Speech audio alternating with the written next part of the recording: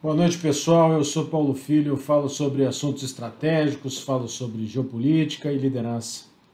Agora são 9h20 da noite do dia 19 de janeiro de 2022 e a minha intenção aqui é atualizar vocês com algumas ideias, alguns pensamentos que eu tenho elaborado a respeito dessa crise entre a Rússia e a Ucrânia, envolvendo os Estados Unidos, envolvendo a OTAN essa ameaça de guerra que está no ar lá na Europa.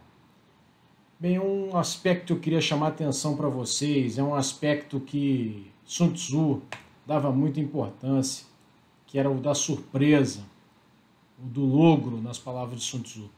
Eu vou colocar aqui um, um PowerPoint, né, com a, o que, que o, o Sun Tzu dizia Bem, vocês estão vendo aí? Sun Tzu, no capítulo 1 da Arte da Guerra, dizia lá: Todas as guerras são baseadas no logro. Portanto, quando capazes de atacar, devemos parecer incapazes. Ao usarmos as nossas forças, devemos parecer inativos. Quando estivermos próximos, devemos parecer distantes, e quando distantes, devemos parecer próximos. Isso está lá no capítulo 1 do Arte da Guerra. Bem, meus amigos, parece para vocês uma surpresa a ação da Rússia na Ucrânia? Será que a Rússia abriu mão do logro de quando parecer distante, na verdade está perto, quando tiver a intenção de atacar, na verdade não atacar, não mostrar isso para o adversário? Então vejamos, a Rússia está acumulando tropa desde novembro do ano passado na fronteira da Ucrânia. E depois das conversas que aconteceram semana passada entre russos e americanos, entre russos e OTAN, entre russos e europeus, a coisa só escalou, a coisa não desescalou. Se não vejamos, a Rússia mandou recolher o seu pessoal da embaixada na Ucrânia, está esvaziando o pessoal da embaixada da Ucrânia. Isso não é feito escondido, isso é para mostrar que está tirando o pessoal de lá, para haver uma suspeita de uma ação militar. Uma, uma interpretação pode ser essa. Ah, houve na sexta-feira da semana passada um ataque hacker é, a diversos sites do governo e de organizações não governamentais, de instituições ucranianas. É, obviamente vindo da Rússia. É, a Rússia está mandando tropas para Belarus, que é na fronteira norte da Ucrânia, para fazer um exercício militar, um exercício esse que não estava previsto. Então a Rússia está fazendo questão de mostrar, de demonstrar que está em condições de atacar. Será que quem realmente quer atacar mostra tudo isso? Então, por isso que eu quis chamar a atenção lá de Sun Tzu. Ou a Rússia está fazendo isso justamente para pressionar a que o Ocidente faça o que ele quer numa condição de força? O que, que a Rússia quer? A Rússia quer que a OTAN se comprometa a não se expandir mais para o leste. A Rússia quer que a OTAN se comprometa que a Ucrânia nunca será é, da OTAN. Agora vamos falar em algumas coisas, algumas coincidências que aconteceram. No dia 9 de julho, Putin e o Biden se encontraram. Naquela oportunidade, o Biden fez uma exigência para o Putin. Ele falou: Olha só, nós estamos sofrendo muitos ataques hackers, ataques hackers vindos da Rússia. Então eu espero que vocês tomem providências, senão eu vou ser obrigado a tomar providência. Isso o Biden falou para o Putin lá em julho. O que, que o Putin fez na sexta-feira passada? O que, que a Rússia fez na sexta-feira passada, depois das conversas, um dia depois das conversas e no mesmo dia em que houve um ataque hacker na Ucrânia? A Rússia prendeu os integrantes, 14 integrantes de um importante grupo hacker que atuava do território russo nos Estados Unidos. Qual é a mensagem que a gente pode entender dessa prisão? Olha aqui, o Biden, você traçou uma linha vermelha, que eram os ataques é, hackers do de grupos russos no território americano. E eu te entreguei isso. Eu prendi os caras. Por que, que você não pode entregar o que eu estou pedindo, um compromisso de que a OTAN não vai se expandir para a Ucrânia? É lógico que esse compromisso o Biden não vai firmar, nem a OTAN. Por quê? Porque são países que advogam né, sistemas liberais democráticos e eles nunca vão dizer que não vão aceitar que a Ucrânia faça suas próprias escolhas. A Ucrânia, como um país soberano, quer integrar a OTAN.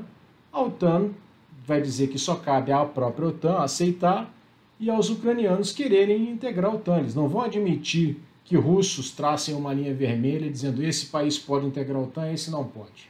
Mas o que, que o Biden falou, acabou de falar numa entrevista coletiva.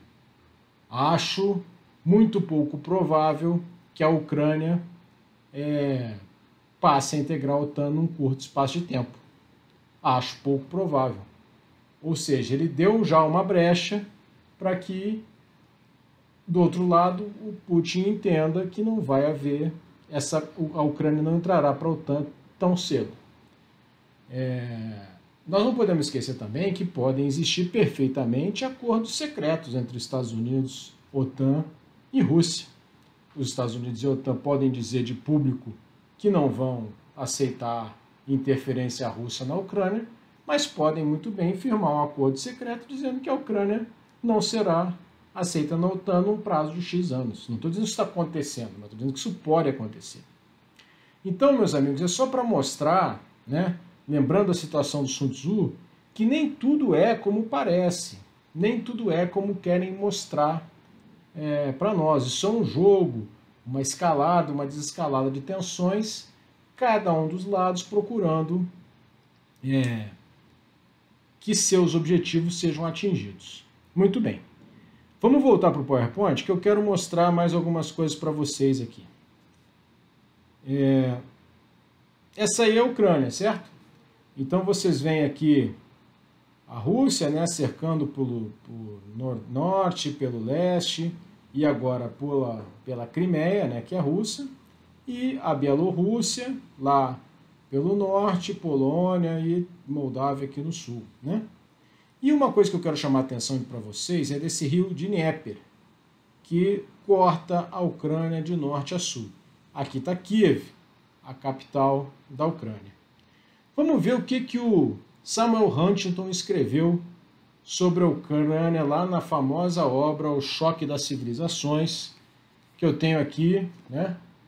que é uma leitura que eu recomendo para todos, lá nas páginas 206 e 207. A Ucrânia é um país rachado, com duas culturas distintas. A linha de fratura civilizacional entre Ocidente e ortodoxia passa através do seu coração e é assim há séculos. Passa onde? Aproximadamente no rio de Dnieper. A leste do rio de Dnieper, uma civilização, segundo Huntington, né, o grosso da civilização ortodoxa, uma civilização pró-Rússia, né, e a oeste do rio é, Dnieper para o Ocidente, uma civilização cristã pró-Ocidente. Bem, aí nesse slide vocês veem então as tropas né, é, russas posicionadas. Vamos dizer que haja a invasão russa, né, que eu, volto a dizer, não acredito que acontecerá. É possível que aconteça? É lógico que é possível. Né? muitas novas novidades podem acontecer, erros podem acontecer e na cabeça do Putin só ele sabe o que está passando. Mas vamos partir da premissa que possa ocorrer a invasão. É, eu caracterizaria três principais possibilidades. Eu descarto uma invasão completa do território ucraniano, até pelo que o Samuel Huntington escreveu, nessa fratura civilizacional a Rússia não vai querer entrar na parte ocidental da Ucrânia, se sujeitar a uma, uma guerra é, irregular, tremenda, uma grande resistência, eles têm, não têm nada a ganhar com isso. Mas digamos que eles invadam. Qual seria a pior hipótese, a mais agressiva, né? Era que a, que a Rússia entrasse em todo o território a leste do rio de Dnieper e parasse no rio de Dnieper. e que a Ucrânia se rachasse em duas, uma pró-Ocidente e uma pró-Rússia. É, então essa é uma primeira possibilidade, uma invasão até o corte do rio Dnieper. Uma segunda possibilidade, que é mais provável, é que a Rússia entrasse em cima desses territórios que ela já é, controla. Bom, a Crimeia ela já controla, já é dela, né? E Lugansk e Donetsk são é, regiões dominadas por separatistas. Então a Rússia pode criar um, um, uma desculpa, é, dizer que esse pessoal está precisando de apoio, está sendo ameaçado pelos ucranianos, qualquer desculpa, e entrar somente nesses territórios aí. É uma possibilidade também, acho que uma possibilidade bem maior de acontecer. Né? E uma terceira possibilidade seria ele entrar em Lugansk e Donetsk e chegar até a Crimeia. Para que isso? Para criar uma ponte terrestre, um caminho terrestre entre a Rússia e a Crimeia. Então, três possibilidades. Até o rio de Dnieper, só em Lugansk e Donetsk, ou a partir de Lugansk e Donetsk até, até a Crimeia, conquistar toda essa região sudeste da Ucrânia, em cima do Mar de Azov, é, ao norte né, é, do Mar de Azov, para fazer uma ponte terrestre, uma ligação até a Ucrânia. Bem, meus amigos, é, então essas foram algumas considerações que eu quis fazer para vocês hoje, do que eu estou entendendo, do que eu estou vendo é, dessa crise. Eu espero que elas ajudem vocês a pensar né, é, sobre o que pode acontecer, sobre o que não pode acontecer e o mais importante, que vocês cheguem às suas próprias conclusões. É, eu sei o que vai acontecer? Não, não sei. Duvido muito que alguém saiba nesse momento, a não ser o Putin. Isso era uma outra coisa que era importante dizer, né? Nesse momento está tudo na mão da Rússia. O Putin é o vencedor de tudo que aconteceu até agora. Ele obrigou o Ocidente a se sentar na mesa e obrigou o Ocidente a conversar sobre um assunto que era do seu interesse: a limitação da influência do Ocidente sobre a Ucrânia. Né? É, usou todo esse aparato militar para obrigar o Ocidente a se sentar na mesa. Então ele já pode, é, sob certo ponto de vista, se considerar um, um vencedor. Né? Ele obrigou ao Ocidente a tratar dos assuntos segundo seus próprios termos. Ele está dominando a narrativa, ele está dominando a, o desenrolar das ações. Então, o próximo passo, os próximos passos, serão definidos pelo Putin. Ou ele vai escalar e poderemos haver então pode haver um conflito, ou ele vai desescalar. Tá bem, pessoal? Então era isso que eu tinha para dizer para vocês hoje, rapidamente, sobre algumas considerações acerca da crise na Ucrânia. Acompanhe a gente no Twitter, tá aí Twitter, arroba paulofilho, underline 90. É, e lá vocês vão ter todos os, os acontecimentos é, que eu tenho coletado e tenho colocado lá no Twitter. Tá bom? No meu blog também, paulofilho.net.br, vocês podem encontrar alguns textos a respeito também. Tá bom, pessoal? Então, até a próxima. Tchau.